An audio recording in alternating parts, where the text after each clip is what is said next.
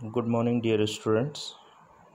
So, today we will discuss question number six of exercise 5.2 तो question है बेटा आपके पास check whether minus one hundred fifty is a term of this A P the given A P is eleven eight five two and so on so हमें ये show करना है कि इसमें माइनस वन हंड्रेड फिफ्टी इस A P में क्या आएगा।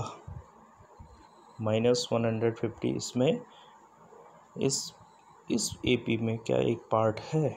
ये हमें चेक करना है। सो so, लेट हम इसको एज्यूम कर लेते हैं कि let minus one hundred fifty be the nth term हम इसको एथ टर्म ले लेते हैं चलिए।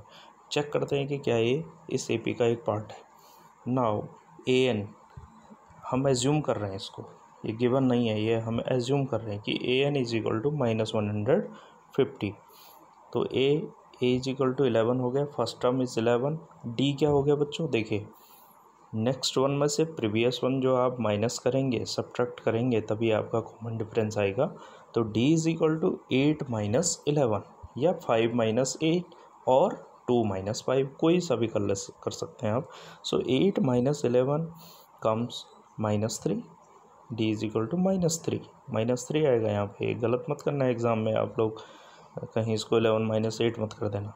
So eight minus eleven is equal to minus three. So a n is equal to, आपको फार्मूला पता है, the nth term formula is a n is equal to a plus n minus one into d. So minus one hundred fifty is equal to eleven plus n minus one into d is equal to minus three. अब minus three के अंदर multiply होगी तो minus three N अब अब हमने क्या किया, इसको हम लेफ़्ट हैंड साइड ले गए और इसको भी राइट हैंड साइड लिए तो साइन इनके सेम रहेंगे, ठीक है? तो आप देख लीजिए इसको minus three into n minus one is equal to minus one hundred fifty minus eleven यहाँ तो ये कितना आ गया minus one hundred sixty one so n minus one n minus one is equal to one hundred sixty one by three so n is equal to one hundred sixty one by three plus one is equal to one hundred sixty four by sixty four by three but children here n should be देखो, ये fraction में आ गया आपका। So n should be a positive integer so और assumption were was wrong so minus one hundred fifty is not a term of given a p इसलिए क्या है? हमारा जो एजुमसन था कि हमने माइनस वन हंड्रेड फिफ्टी को एनथ टर्म एजूम किया था सो so ये क्या है? करेक्ट नहीं है. So it is not a term of given The next question is find the 31st term of an AP whose 11th term is 38 and 16th term is 73. Very very important question for exam point of view in board exam also. Uh, this question asked many time find the 31st term of an AP whose 11th term is this and 16th term is 73 तो N term आप जानते हैं N term का formula आपके पास ये है। तो ए eleven दे रखा है उसने। Eleven term means a eleven. तो ए इलेवन की वैल्यू क्या होगी? A plus ten eleven minus one into d. तो ए प्लस टेन डी। और ए इलेवन की वैल्यू क्या है? इलेवंथ टर्म कितना है? थर्टी एट है। तो thirty eight is equal to a plus ten d हो गया आपका। ए प्लस टेन डी हो गया। ये क्वेश्चन नंबर फ़र्स्ट हो गया। Now second one. 16 term is 73 so 73 is equal to, अब 16 टर्म है तो a plus sixteen minus one into d तो a प्लस फिफ्टीन डी हो गया बच्चों आपका। तो ये क्वेश्चन नंबर सेकेंड हो गई। Now subtracting first from second first को आप क्या कर दीजिए? सब्ट्रैक्ट कर दीजिए सेकेंड से। उससे क्या हो जाएगा? यहाँ पे देखिए fifteen d minus ten d हो जाएगा। फाइव डी ए से तो ए कैंसिल हो जाएगा।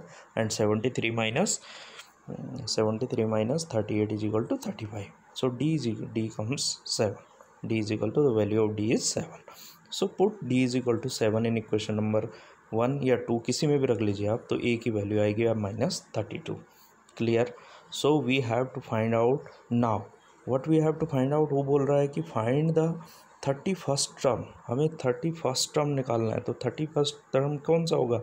ए थर्टी वन होगा। अभी तक हमें ए पी के बारे में पता नहीं था कि क्या उसका फ़र्स्ट टर्म होगा and what will be the common difference लेकिन यहाँ से निकल गया। Common difference is seven and first term is minus thirty two so a thirty one is equal to a plus thirty one minus one into d is equal to a plus thirty d तो minus thirty two plus thirty into seven is equal to one hundred seventy eight तो ये आपका question number seven हो गया।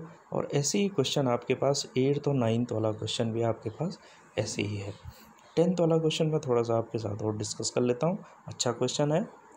The seventeenth term of an A P exceed it tenth term by seven find the common difference it means ये कह रहा है कि जो इस ए पी का सेवनटीन्थ टर्म है बच्चों, वो टेंथ टर्म से सेवन ज़्यादा है। ठीक है?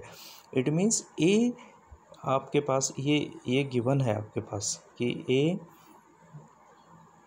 a seventeen is equal to a a ten plus seven ये आपके पास गिवन दे रखा है उसने, आपके पास क्लू दे रखा है उसने कि ऐसा है।